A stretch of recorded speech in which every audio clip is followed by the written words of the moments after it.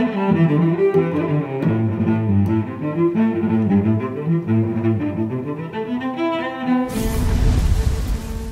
guys, Phil Baumhardt here. So for today's knife of the week, I got a Torreon bowie to show you.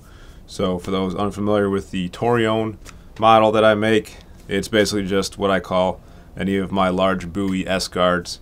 Just what I call it, just for fun. Uh, so this one is definitely unique in a couple of ways, mainly the guard.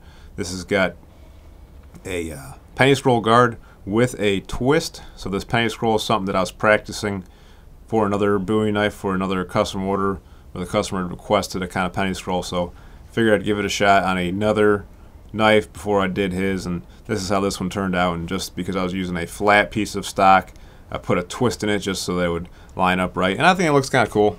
Kind of gives it a pirate kind of feel. So I call this kind of the pirate Torreon. So this is a uh, 17 and a half inch overall length blade is 11 inches long with a 10 inch cutting edge handle itself is uh, about six inches long so big honking piece of steel so this is a uh, I made this one out of a quarter inch piece of uh, 80 CRV2. So it's got uh, quite a good deal of heft to it, two inches wide.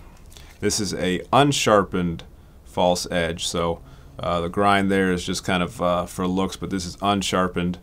I kind of uh, envisioned less as a fighting knife and more of kind of a uh, more of a uh, chopper or a camp tool, so you can split kindling and you know process firewood, that sort of thing.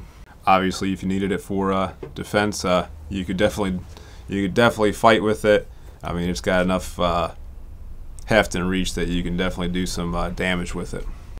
So the uh, the grip I kind of put a little extra flourish on here to kind of give it a uh, kind of an axe handle kind of grip so choking back here you get extra leverage extra mass in kind of cutting and chopping you can uh, choke back up here. You got a nice big finger groove, so you can get your finger in there for for holding it up here. You can put your finger on this little choil area here for uh, maybe finer uh, whittling and carving. Not that this would be a great whittler per se, but you know that's there. And it's long enough that you can get kind of a second hand on there for your chopping and splitting chores.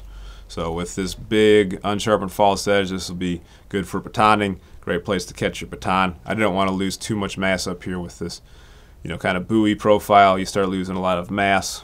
So that's why, uh, you know, another reason why I didn't want to put that uh, false edge on there. Nice feeling knife, got a good uh, weight and heft to it. The uh, handle here is walnut, and on this particular side here, it's got kind of a uh, kind of a burl to the grain, which is uh, which is neat, but just real nice piece of walnut, nice piece of wood, nice shape to the grain. So pretty pretty interesting. And I did put a, uh, a lanyard hold here.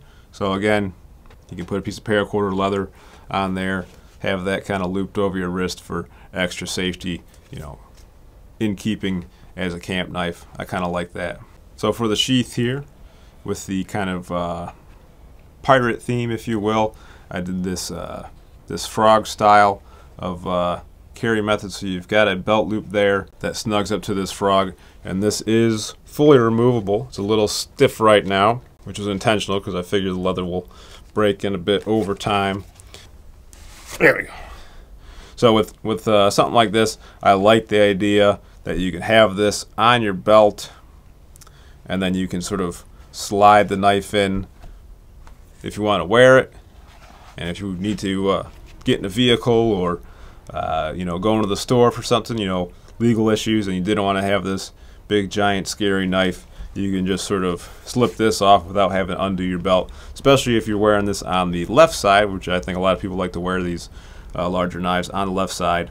You know you have to unwind your entire belt, and if you got anything else on there, then you got to contend with all that. And I really hate doing that, so I'm a big fan of being able to you know, put your tools on and off without having to undo your entire belt. So you, so you will be able to take this on and off. So it slides in pretty easy. It's pretty snug coming out, which is good because, you know, when you go to draw this knife, you don't want the whole thing, yeah, scabbard coming with the with the knife. But, you know, with the leather, it'll definitely uh, kind of break in over time. So, so not really much to it. Just another one of my uh, bigger knives with a couple extra details in the uh, in the guard, and the handle. Just wanted to kind of try something new, fancy it up just a little bit, and also trying out this uh, different uh, scabbard setup. So, so if you want to own this knife, there's going to be a link in the uh, description box. So, and there's also links down there for uh, Facebook and Instagram if you want to follow me there. So as always, I appreciate the support. Thanks so much for watching, and until next time, be more Viking.